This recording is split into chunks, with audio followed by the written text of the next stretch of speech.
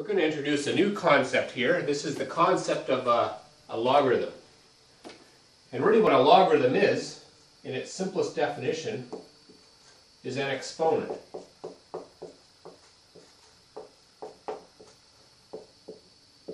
So a logarithm we need to think of as simply an exponent. Let me show you a couple of examples here. On your calculator, you're going to see that there's a button, log. You should, should find it on there. And then if you enter in on your calculator log of 100, you should see that that answer is 2. And if you entered log 1000, you should see that the answer is 3. Well, if we think back to what a logarithm is, that is really just an exponent, what this question is asking is what, so we'll call this question 1, we'll call this question 2. So if we look at question number 1 here, what it's saying is what would be the exponent on 10 that would equal 100. So in other words, what exponent on 10 would equal 100? Of course, that's why the answer is 2, because 10 squared equals 100. And in question 2, we ask, what really what this is asking is what is the exponent on 10 that would equal 1,000?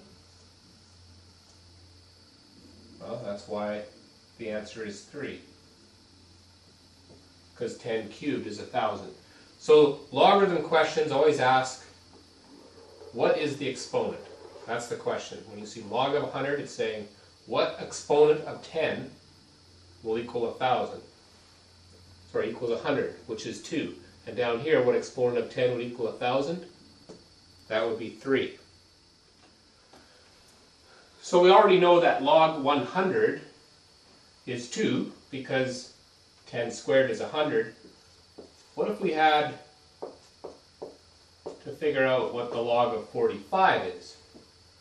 Well, we'd be asking ourselves, what is the exponent on 10? What power of 10 would be equal to 45? That's what this question is asking.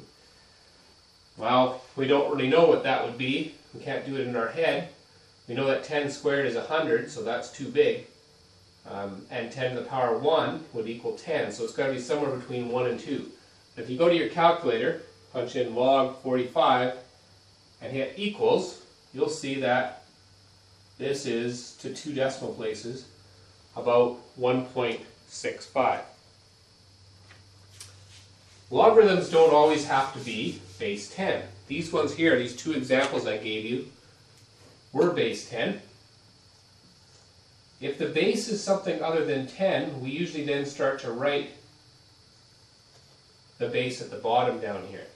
You could technically write a small little 10 beneath here, but it's assumed if there's nothing written there that we are talking the base 10 logarithm. But here's another example. This is a base 2 logarithm. So again, a logarithm is just an exponent.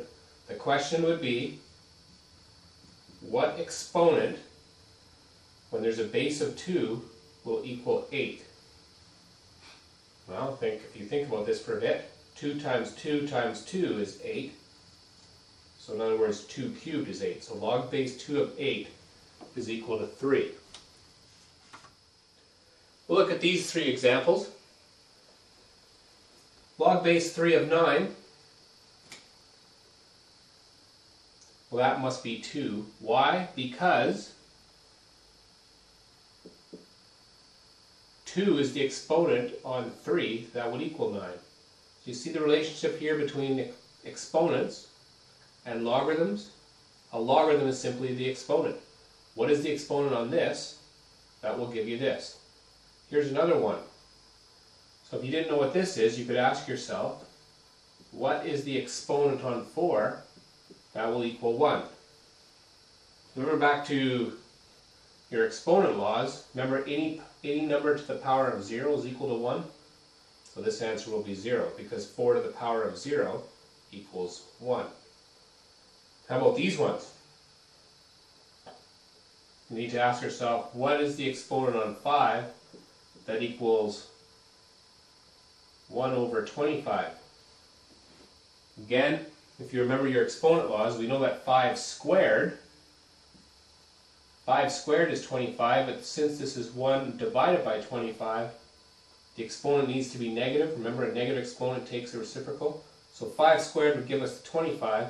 We need the reciprocal of 25. So the answer, the exponent, would be minus 2. So just to review how exponents work and logarithms work, if we had log base a of b equals c, so in other words, as an example, log base 2 of 8 equals 3, okay, which is true because 2 to the power 3 equals 8. What does this mean? This means a, or this number here, b, let's say, b will always equal a to the power c, or in other words, 8 is equal to 2 cubed. So this is how we can take a logarithm and write it as an exponent. Okay, and sometimes we like to call this the back rule. So log base a of b equals c means that b equals a to the power c. So as an example, log base 2 of 8 equals 3 means that 8 equals 2 to the power of 3. So this is a really important rule. You need to make sure that you know how to take a logarithm and write it as an exponent, or to take an exponent and write it as a logarithm. So here's a simple example. Log base 2 of 8 equals 3. This is a logarithm. Here it is written out as exponent. 8 is equal to 2 cubed. Make sure you're able to use that formula to convert between one and the other.